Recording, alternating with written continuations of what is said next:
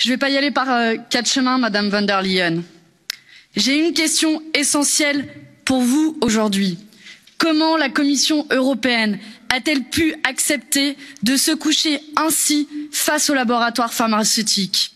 Dans la gestion de la stratégie vaccinale, j'ai le sentiment, Madame von der Leyen, que les dirigeants des big pharma ont fait la loi à votre place. Sur les négociations et les contrats, tout d'abord, c'est l'opacité à tous les étages. Aucune information sur les négociations malgré les demandes de notre Parlement. Seulement trois contrats rendus publics grâce à notre pression citoyenne. Et voilà à quoi ils ressemblent pour ceux qui ne l'ont pas vu. Toutes les informations les plus importantes, comme le prix, le calendrier de livraison ou même euh, le détail des clauses de responsabilité sont masquées. Pour les autres contrats, il faudra attendre que les labos daignent les publier.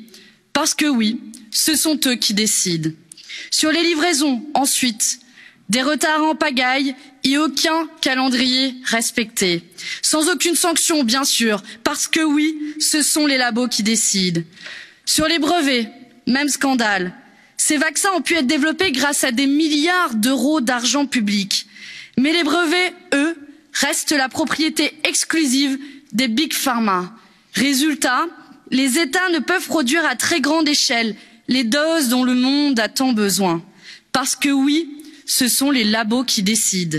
Et enfin, cerise sur le gâteau, 15 milliards les profits, 15 milliards de chiffre d'affaires et 20 à 25 de marge pour Pfizer, qui se réjouit d'ailleurs de son succès de son blockbuster, je les cite. Sanofi n'a pas trouvé de vaccin, mais par contre, ils ont trouvé 400 postes de recherche à supprimer et 4 milliards d'euros de dividendes à distribuer.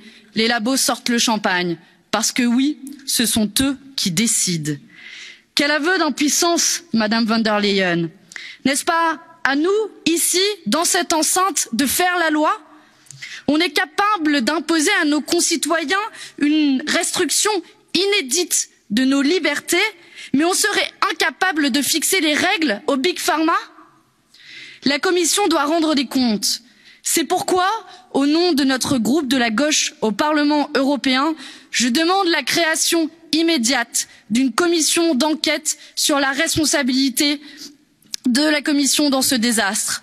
nous sommes en droit de savoir car après tout ces vaccins ont été payés avec notre argent et l'équation doit être simple argent public contrat public brevet dans le domaine public c'est aussi simple que cela. depuis des décennies nous abandonnons, nous abandonnons tout jusqu'à notre santé aux mains du privé et nous voilà aujourd'hui dans l'impasse. nous proposons ici un chemin inverse mettre un terme à la toute puissance des laboratoires. il est temps de faire tomber les brevets et s'assurer qu'aucun profit ne soit réalisé sur la pandémie. c'est la seule manière de pouvoir vacciner rapidement l'ensemble de la planète pays riches comme pays pauvres de rassurer les citoyens qui doutent en sortant les vaccins des griffes des multinationales d'espérer revivre après un an de deuil d'inquiétude d'isolement de précarité. voilà ce qui devrait être votre rôle madame von der leyen si vous n'aviez pas abdiqué face aux labos.